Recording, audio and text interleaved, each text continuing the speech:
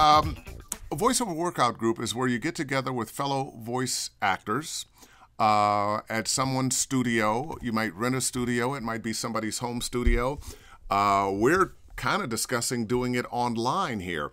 Uh, and you bring some copy that you want to read, something that uh, maybe uh, you're not getting booked for, but you would like to be. Uh, maybe you have an audition coming up that you'd like some help with. Uh, get some other opinions on your read. You know how it is. You're in your booth by yourself, uh, and the only ears that are hearing what you're doing are your own. And it's very difficult uh, sometimes to be objective about yourself. the caveat, of course, is that uh, when people are giving you a critique, because that's what you do, you go on the booth, you you read that copy, uh, and then people give you critiques on uh, how you can make it better. Now, at what I do is uh, I call it a three and three, which is kind of like the my reading a three and three.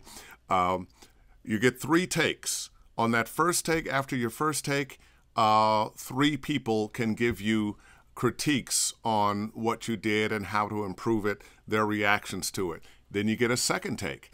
After that take, three more people can give you feedback, or up to three, I'll put it that way, can give you feedback on your read and did it improve and what else you might do to perfect it. Then you've got your third take. There will be no more uh, critiques after that, uh, but it gives you an opportunity to take in other people's uh, thoughts on how you can make it better, um, eh, which I, I, find is much better than just having your own. Uh, and those who are critiquing, it teaches you how to listen in a different way. Uh, and I have found uh, that since I've done them over the last 25 years, there was a gap in there where I didn't. Uh, but the people who do voiceover workout groups uh, tend to do well, tend to get booked uh, and tend to have emotional stability because they have somebody to talk to. so that's uh, those are the pluses of the the voiceover workout group. Uh, but